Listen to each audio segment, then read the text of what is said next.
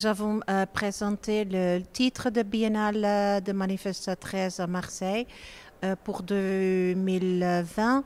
C'est très d'unions et c'est de, de, faire de coalitions, de coopération, d'alliances entre sociétés, communautés, institutions, musées, tous les, tous les individuels et toutes les fractions, tous les euh, groupes dans la société et dans le, dans la métropole euh, de Marseille.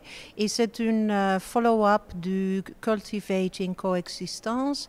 Qu'est-ce que c'est Quel le principe titre de Manifesta 12 à Palerme? Son Manifesta 13, c'est une, peut-être une Cultivating Coexistence 2.0, 2.0.